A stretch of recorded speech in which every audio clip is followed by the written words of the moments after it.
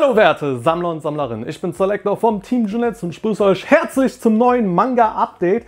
Es ist mal wieder soweit, der Juli ist vorbei und dementsprechend schauen wir jetzt nochmal an, was ich mir alles diesen Monat organisiert habe. Und wir fangen an mit Rezensionsexemplaren, deswegen Werbung.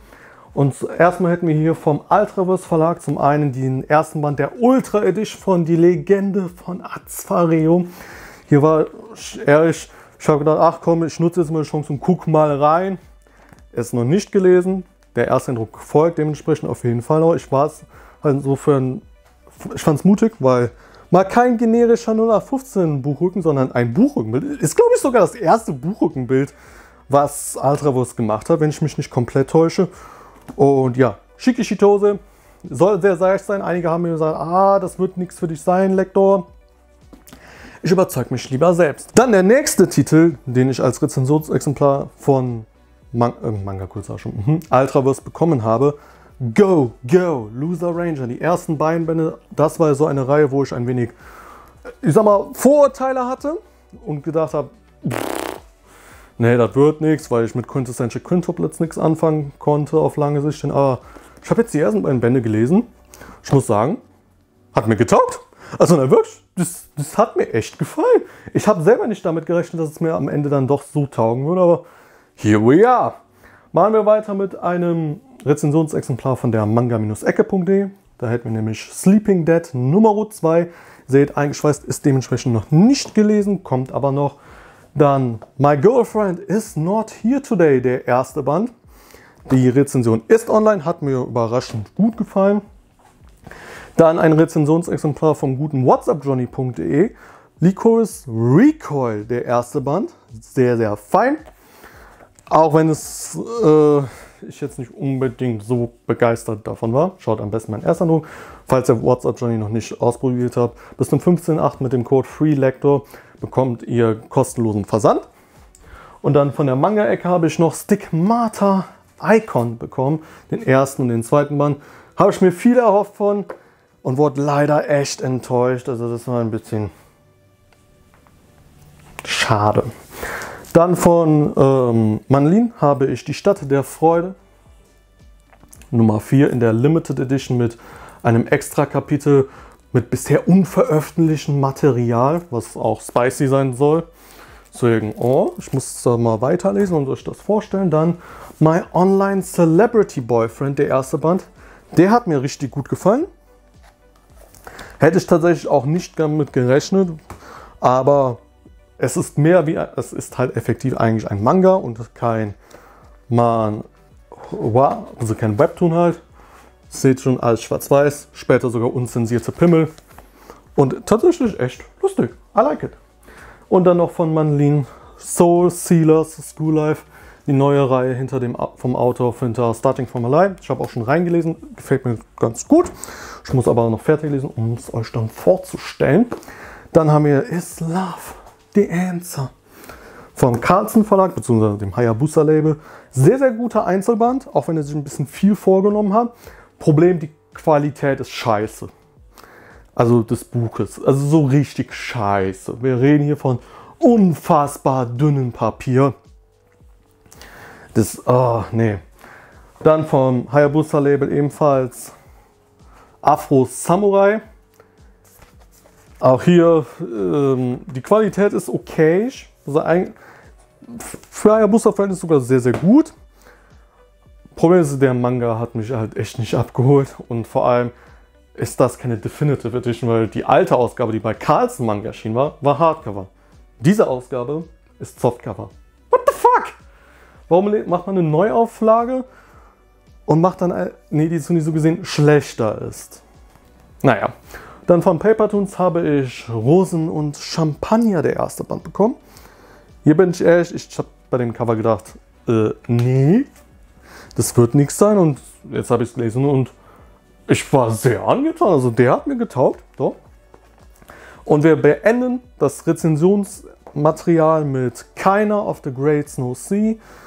Die Manga-Adaption vom Anime, der Tsutomu Nihi geschrieben hat, der war eher so, äh, nichts aussagen für mich.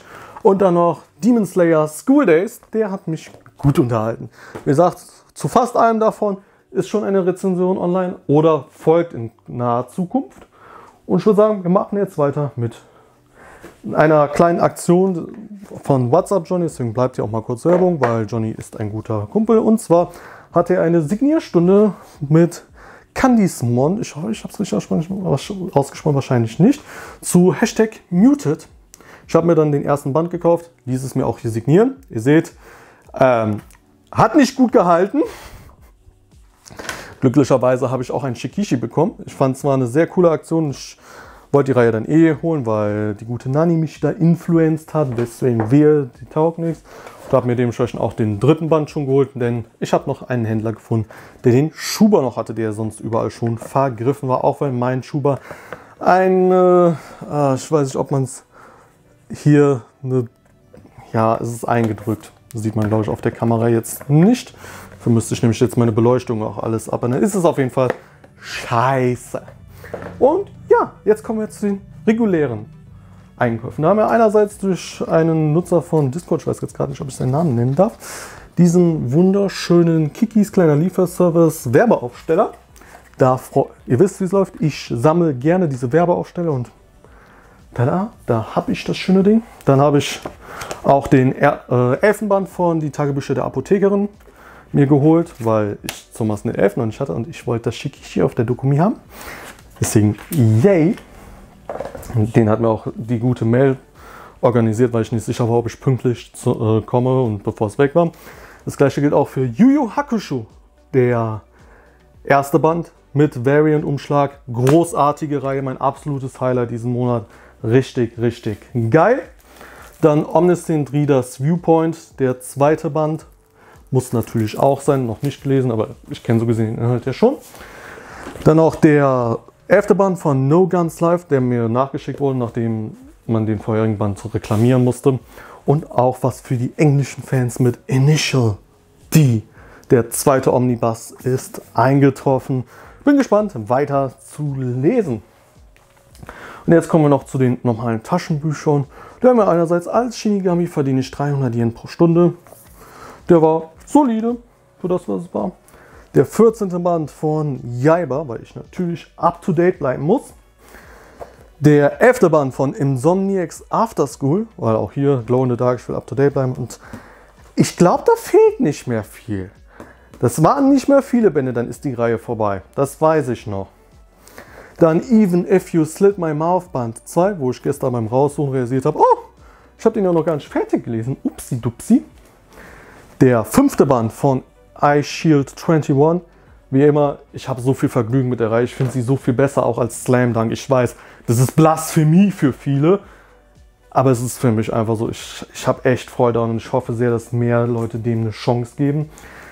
Dann Band 25 und 26 von TryHX, weil die Reihe nicht gut läuft und ich will up to date bleiben, bevor da was out of print geht. Dann nach langer, langer Wartezeit ab sofort Schwester Numero 6 noch nicht gelesen leider, aber ich freue mich extrem drauf. Dann auch der 24. Band von Bungo Stray Dogs. Und hier kann ich jetzt eine kleine Anekdote wieder erzählen, denn euer aller Freund Lektor war ein wenig dumm-dumm. Also noch mehr dumm-dumm als eh schon. Denn ich habe den gestern rausgekramt, dann ist mir aufgefallen, hä, wo habe ich denn 22 und 23? Dann habe ich in meiner Bookshelf-App geguckt, wo ich alles Dokumentierung gesehen Oh mein Gott, ich bin ein richtiger Vollidiot. Ich habe an 22 und 23 gar nicht gekauft. Ups. Ja, jetzt weiß ich, was ich bald nachkaufen muss. Da will man up to date bleiben und dann verkackt man es trotzdem. Das ist, ja. Und dann noch vom Egmont Verlag Marriage Toxin Nummer 4, der dritte Band, den ich erst kurz gelesen habe, hat mir gut gefallen, deswegen freue ich mich auch hier drauf zu lesen. Und der beste Romance-Manga, den wir dieses Jahr bekommen, Caro und Rien. Unbedingt, wirklich, falls ihr Fans von einer guten Romance seid, schaut in Karo und Rien rein. Jedoch hört es hier noch nicht auf, denn ich habe noch drei japanische Manga für euch, denn ich habe mal wieder bei Mandarake was ersteigert. Und ich habe jetzt den Haul nicht nochmal gefilmt, weil, ach nee, musste jetzt nicht sein. Auf jeden Fall habe ich einerseits den ersten Band von Priest Girl ersteigert. Das ist eine Reihe, die kennt keiner am besten. Ich bin auch ehrlich, ich habe die für 500 Yen ersteigert. Das ist 3 Euro oder 2,50 zum Zeitpunkt, wo ich es ersteigert hatte. Also es ist echt wenig. Ich habe es einfach nur geholt, weil innen drin auch eine süße Zeichnung war. Und ich gedacht habe, hm, komm, für 2 Euro nimmt man doch einen, auch so einen signierten Manga mit. Vielleicht kriegen wir ihn ja doch irgendwann noch auf Deutsch oder Englisch. Das wird mir auch schon reichen. Also, ja, ich finde, das, das sieht irgendwie schön aus. Deswegen ja, habe ich mitgenommen. Und dann kommen jetzt allerdings zwei Manga, die dürften den meisten was sagen. Wenigstens auf oh, die Japaner, die immer als drei- und vierfach in Plastik hüllen. Und zwar der erste Band von Haus der Sonne mit einer Signatur der Mangaka. Zumaßen, das war ursprünglich mit einer Widmung, das hat man jetzt mit äh, jetzt, oh ja klar, jetzt fällt mir das Wort nicht ein. Nicht deckweiß. Ihr wisst, was ich meine, halt entfernt, aber trotzdem Unterschrift von Tamo plus eine Illustration der Protagonistin. Wie geil ist das? Und ich glaube, ich habe dafür 10 Euro bezahlt. Das ist nichts, doch mein absolutes Highlight ist eindeutig der siebte Band von Requiem of the Roast King. Auch hier signiert. Zummaßen auch hier war eine Widmung drin, die man entfernt hat. Aber trotzdem, das ist richtiger und auch hier keine 10 Euro oder so. Also insgesamt 25 Euro für drei signierte Manga. Da kannst du halt nicht meckern, vor allem bei den zwei, was durchaus größeren Namen. Und ja, so viel dazu. Jetzt wird noch gezählt. Bis gleich. Und diesen Monat ist es halt deutlich weniger als im Monat zuvor, aber trotzdem immer noch relativ viel und es kommt ja auch nicht immer auf die Masse an. Aber es sind stolze 37 Bändel. Ja, ist ein bisschen was Schönes dabei gewesen. Seit diesem Monat habe ich mich ein bisschen mehr zurückgehalten. Der August wird da deutlich. Ah, ich muss aufpassen. Da muss ich echt aufpassen. Aber ja, so viel dazu. Was habt ihr euch alles im Juli geholt? Gerne unten in die Kommentare. Und es bleibt mir, und es bleibt mir nicht mehr viel zu sagen, außer vielen Dank fürs Zusehen und ciao.